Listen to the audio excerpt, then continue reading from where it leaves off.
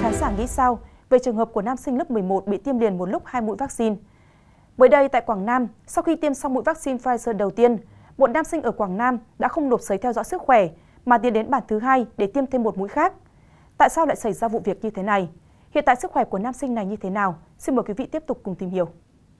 Ông Phạm Thanh Bình, Giám đốc Trung tâm Y tế thành phố Tam Kỳ, Quảng Nam cho biết, nam sinh CVD lớp 11, trường Trung học phổ thông Trần Cao Vân có sức khỏe ổn định và sẽ được xuất viện trong chiều nay.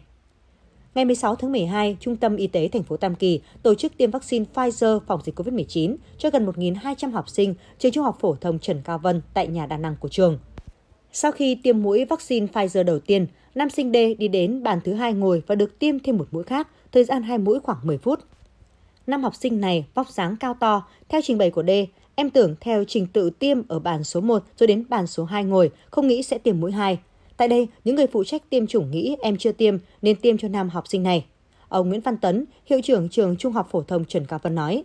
Sau khi phát hiện sự việc, nhà trường đã báo cáo đến Trung tâm Y tế thành phố Tam Kỳ kiểm tra sức khỏe nam sinh.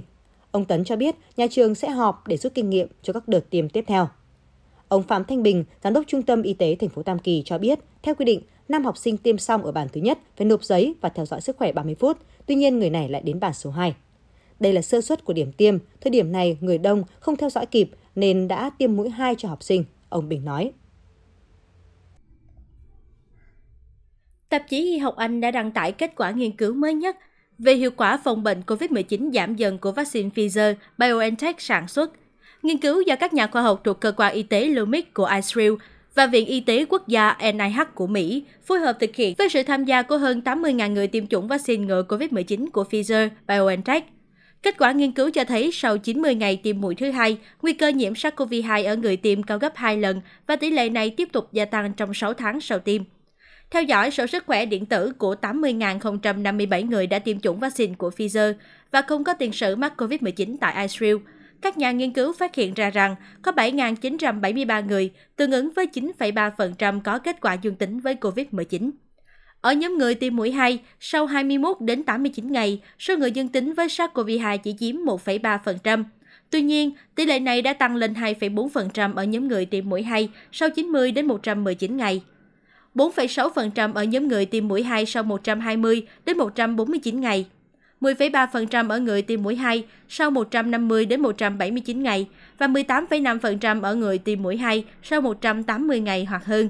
Các nhà nghiên cứu cho rằng có thể có yếu tố khác tác động đến nguy cơ mắc COVID-19 ở người đã tiêm hai mũi, cũng như tỷ lệ dương tính ở nhóm người này như biến thể của virus gây lây nhiễm và môi trường có nguy cơ cao hay thấp. Kết quả này cũng có thêm bằng chứng cho thấy cần tiêm mũi tăng cường để duy trì khả năng bảo vệ trước sự tấn công của virus SARS-CoV-2.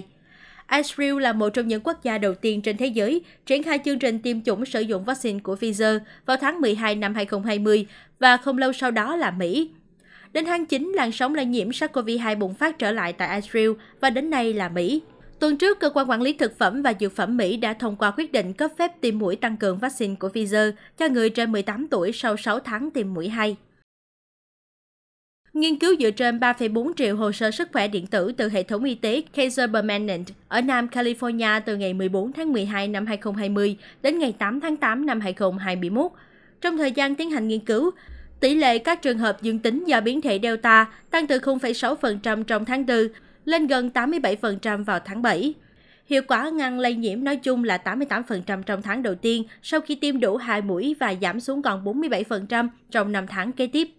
Đi sâu vào phân tích cụ thể, nhóm nghiên cứu nhận thấy hiệu quả ngăn lây nhiễm với biến thể Delta là 93% trong tháng đầu tiên sau khi tiêm 2 mũi và giảm xuống 53% sau 4 tháng.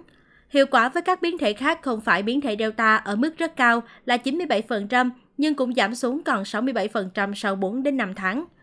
Nhìn chung, kết quả này không có gì bất ngờ, vì theo giới khoa học, mục tiêu cao nhất của vaccine COVID-19 không phải là ngăn chặn lây nhiễm, mà là giảm nguy cơ trở nặng và nhập viện. Theo nghiên cứu được công bố trên The Lancet, vaccine Pfizer-BioNTech giảm nguy cơ nhập viện của người mắc biến thể Delta tới 93% trong vòng 6 tháng, bất kể độ tuổi và giới tính. Nghiên cứu được công bố chỉ 2 tuần sau khi Mỹ phê duyệt việc tiêm tăng cường mũi 3 cho người già và người dễ bị tổn thương vì COVID-19. Theo Nhà Trắng, có khoảng 60 triệu người đã được tiêm mũi 3. Tiêm tăng cường là một vấn đề gây tranh cãi ở Mỹ và trên thế giới. Những người phản đối cho rằng nên tăng độ phủ vaccine, dành những liều tăng cường cho người chưa tiêm và dễ bị tổn thương để chấm dứt đại dịch. Các số liệu mới nhất trong một nghiên cứu của Đại học Oxford cho thấy, dù những người mắc COVID-19 sau khi tiêm phòng đủ sẽ không mắc bệnh nặng, nhưng vaccine không giúp bảo vệ họ khỏi nguy cơ mắc các triệu chứng COVID-19 kéo dài, hay còn gọi là long COVID. Trong 6 tháng, các nhà nghiên cứu xem xét 9.479 trường hợp đã tiêm phòng đầy đủ, nhưng được chuẩn đoán nhiễm virus SARS-CoV-2 và so sánh với một số lượng tương tự các bệnh nhân COVID-19 chưa được tiêm phòng. Kết quả cho thấy những ca nhiễm sau tiêm có ít nguy cơ mắc các triệu chứng nặng, nhưng cần điều trị tích cực hay hỗ trợ thở hoặc xuất hiện cục máu đông ở phổi hoặc chân tay. Tuy nhiên, các triệu chứng COVID kéo dài xảy ra với tỷ lệ tương đương nhau giữa những người đã tiêm và chưa tiêm phòng. Nghiên cứu đã được công bố trên trang Mersive, chuyên về các nghiên cứu y học và đang chờ ý kiến của các chuyên gia. Chuyên gia Maxim Tawet, thành viên nhóm nghiên cứu, cho biết Đối với những ca nhiễm sau tiêm trên 60 tuổi, vaccine đã giúp bệnh nhân chỉ mắc các bệnh triệu chứng nhẹ, thậm chí hoàn toàn không có triệu chứng. Ông nhấn mạnh, vaccine vẫn là cách hữu hiệu để ngăn chặn các triệu chứng COVID-19, kể cả COVID kéo dài. Tuy nhiên, chuyên gia này cho biết thêm rằng các phát hiện của nghiên cứu cho thấy những người nhiễm sau tiêm vẫn cần cảnh giác với các triệu chứng tiềm ẩn. Trong một nghiên cứu khác, đăng trên tập san học thuật JAMA Oncology của Hiệp hội Y khoa Mỹ, các nhà khoa học đã phát hiện rằng số ca khỏi bệnh COVID-19 gia tăng ở các bệnh nhân ung thư ở châu Âu. Nghiên cứu xem xét số liệu của hơn 2.600 bệnh nhân ung thư mắc COVID-19 được điều trị tại 6 quốc gia từ tháng 2 năm 2020 đến tháng 2 năm 2021 và tính toán tỷ lệ tử vong trong 2 tuần đầu sau khi được chuẩn đoán mắc bệnh.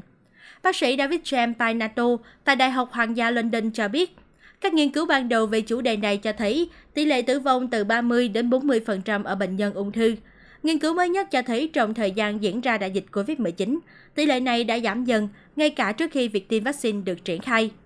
Theo ông Painato, tỷ lệ này đã giảm xuống còn 12,5% trong làn sóng lây nhiễm thứ hai ở châu Âu. Nghiên cứu cũng cho thấy, bệnh nhân ung thư được chuẩn đoán trong thời gian mới bùng phát dịch COVID-19 cũng có nhiều triệu chứng COVID-19 hơn. Các nhà nghiên cứu cho rằng tỷ lệ khỏi bệnh gia tăng không chỉ liên quan đến các loại thuốc điều trị tốt hơn, mà còn nhờ khả năng xét nghiệm tốt hơn cho phép chuẩn đoán sớm hơn. Theo một nghiên cứu đăng trên Clinical Infectious Disease, những người đã sử dụng loại thuốc kháng CD20, anti-CD20, chữa viêm khớp dạng thấp, ung thư, sơ cứng màng tế bào, vốn ức chế phản ứng miễn dịch, vẫn có hy vọng được bảo vệ trước COVID-19 nếu tiêm vaccine theo công nghệ mRNA của hãng Pfizer-BioNTech hoặc Moderna. Các nhà khoa học đã nghiên cứu phản ứng của vaccine mRNA của 37 bệnh nhân đang dùng các loại thuốc nói trên và so sánh với 22 người có hệ miễn dịch khỏe mạnh. Chỉ 70% bệnh nhân có thể sinh kháng thể khi được tiêm vaccine mRNA và mức độ này thấp hơn nhiều ở những người khỏe mạnh. Tuy nhiên, cả hai nhóm có số tế bào miễn dịch tương đương nhau, được gọi là tế bào T, có thể nhận diện và tấn công virus. Các nhà nghiên cứu cho biết, nghiên cứu của chúng tôi gợi mở rằng bệnh nhân dùng thuốc anti-CD20 hoàn toàn có thể sinh tế bào T khi được tiêm vaccine mRNA, dù lượng kháng thể sinh ra không tương đương với người khỏe mạnh. Chuyên gia Riston Eberhardt tại Đại học Geneva ở Thụy Sĩ cho biết quy mô nghiên cứu trên không cho phép kết luận chắc chắn về mức độ bảo vệ khỏi các triệu chứng nặng của COVID-19 ở các bệnh nhân đang dùng loại thuốc trên. Ông khuyến cáo các bệnh nhân nói trên vẫn cần cảnh giác và tự bảo vệ mình khỏi COVID-19.